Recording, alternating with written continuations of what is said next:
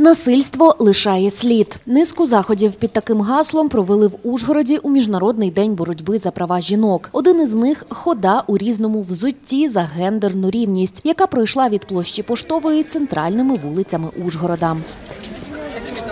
Ця, ця хода є символом гендерної рівності жінок і чоловіків. Це символізує те, що ніби ми всі взуті, ніби воно однакове, але цей колір він натякає на те, що є трошки невеличка різниця в цьому. Треба потрошку відходити від концепції 8 березня це свято пороквіти, а більше в цей день згадувати про права жінок, про недискримінацію і якраз налаштовуватись на те, щоб е, жінки отримували квіти без приводу. Це таке навіть це більше моя така позиція.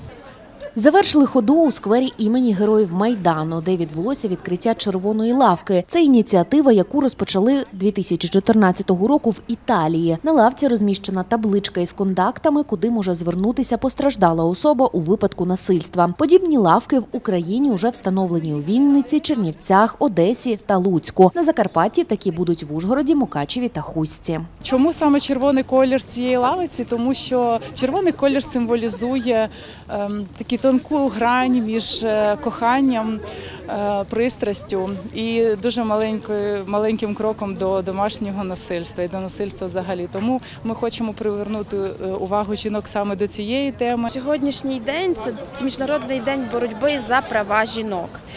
Е, Не свято весни і красни е, і весни і краси. е, Це день, в який ми чітко встаємо і можемо заявити про свої права. Я відчуваю, що є розуміння в тому, що права жінок зас- заслуговують особливої уваги, і про це варто говорити кожен день, тому що кожного дня нам доводиться боротись за свої права, але найяскравіше ми можемо це зробити саме 8 березня.